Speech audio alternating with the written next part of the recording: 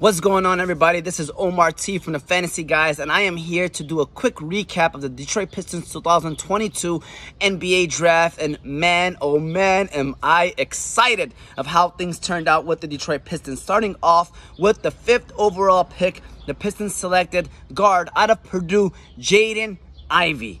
Man, oh man, I'm so excited that the Pistons took him. I was so happy when when Sacramento decided to take Keegan Murray. First of all, starting off with Sacramento, you know, I was never concerned with them taking Jaden Ivey. I was more concerned with them trading that pick into a team that wanted Jaden Ivey because they had got numerous of phone calls, numerous offers for that fourth overall pick, but I guess they turned it down to take Keegan Murray out of Iowa.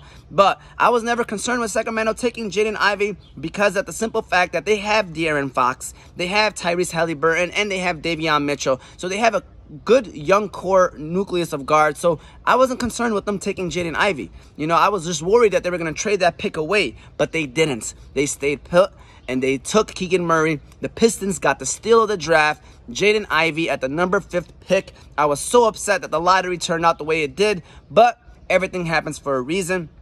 Thank you, Sacramento, for taking Keegan Murray.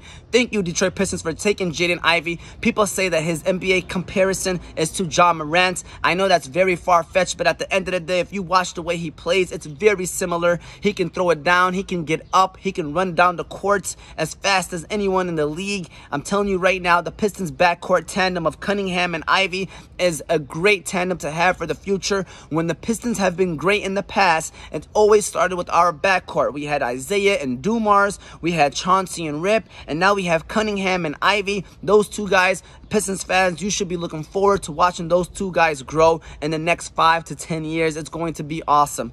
But the Pistons didn't stop there. Troy Weaver. Troy, my boy. Troy, my boy. Did not stop there. He decided to trade into the 13th pick to take Jalen Duren, the center out of Memphis, who's also athletic, who can run up and down the floor. He's going to fit perfectly with Cunningham and Ivey. Young talent coming in from Memphis. Could have been a top 10 pick. Dropped to 13. Troy Weaver was like, hmm, let me go ahead and make this happen right quick. Let me go get my boy. You know, originally in the Jerami Grant deal, the Pistons traded Jerami Grant for a 2025 first round pick that was from the Milwaukee Bucks. I wasn't too excited about that pick. We also traded, by the way, our 46th pick in the second round to get the 36th pick to move up 10 picks. I was like, eh, whatever. It is what it is, you know? But the next day, Troy Weaver wasn't done. We thought he was done, but he was not done. He traded that 2025 pick from the Bucks, which by the way, Giannis is still around. So you're talking about a good mid to late 20th pick. You know, the Bucks ain't going nowhere for the next couple years. I mean, we should know that, especially if Giannis is still around. So, traded that Bucks pick to move up to number 13 still kept the 36 pick that he traded originally in the Jerami Grant trade. And yes, we got Kemba Walker on his contract, but I'm hearing that we are dumping Kemba Walker. I heard that he's not going to be staying in Detroit, that we're just, you know, we took on that money to move up to the 13th pick. We have money to do something like that. So, got the guy he wanted. You know, he tried very hard to trade Jerami Grant for the seventh pick that the Portland Trailblazers has had. You know, those were rumors. I'm assuming that that's what he really wanted to do because he wanted to take Jalen Duren at number seven. I would not be surprised if Ivey wasn't available at five, if he took him at five, because he was very high on this Jalen Duren guy from Memphis. Check out his highlights, by the way, on YouTube. Uh, solid, solid player that we got.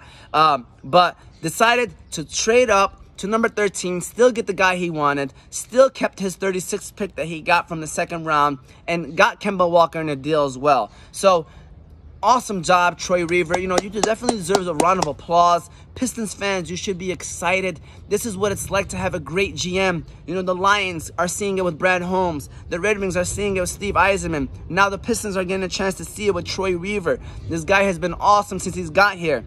We have a lot of cap space to still make moves. Pistons basketball is trending up.